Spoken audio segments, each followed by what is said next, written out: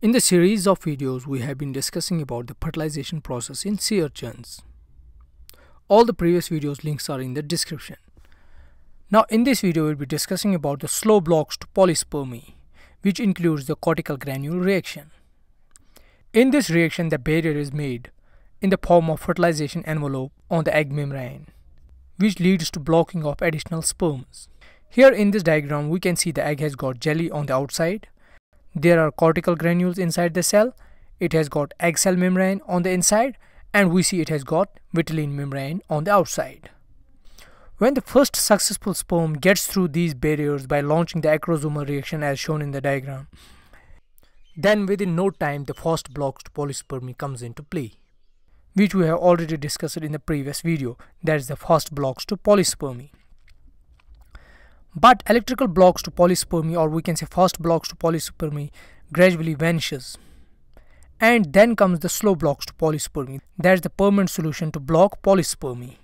In the mechanism of slow blocks to polyspermy, we see the sperm releases many soluble factors and these factors are able to activate the tyrosine kinase. If we see it diagrammatically, the sperm releases factors which turn on the tyrosine kinase. The activated tyrosine kinase further activates the PLC. This PLC in turn cleaves the membrane-bound PIP2 into two components, DAG and IP3. The DAG diacyl glycerol remains attached to the membrane, while as IP3 inositol trisphosphate disassociates and gets to the endoplasmic reticulum, where it happens to open the calcium ion channels with which the calcium ions are pumped out of endoplasmic reticulum to the cytoplasm. The release of calcium into the cytoplasm leads to the increase in the intracellular calcium levels, which aids in the exocytosis of cortical granules.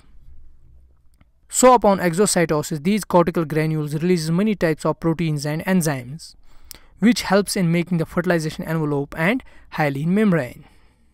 It releases CGSP, an enzyme that cleaves the proteins linking the vitelline envelope to the cell membrane. It also releases transglutaminase, proteolysin, and many other proteins.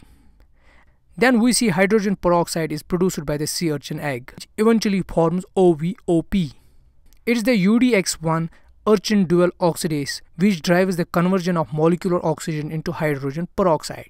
It's from here where from this hydrogen peroxide comes.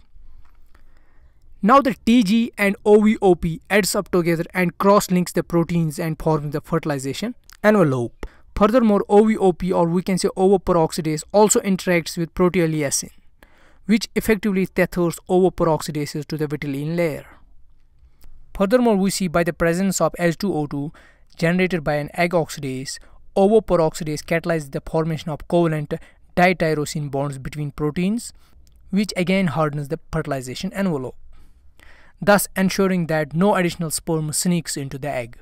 So this is how the slow blocks to polyspermy comes into play. I hope you like the video. If you like it, give it a thumbs up. Do consider supporting my work on Patreon and also make sure to subscribe this channel. Thanks.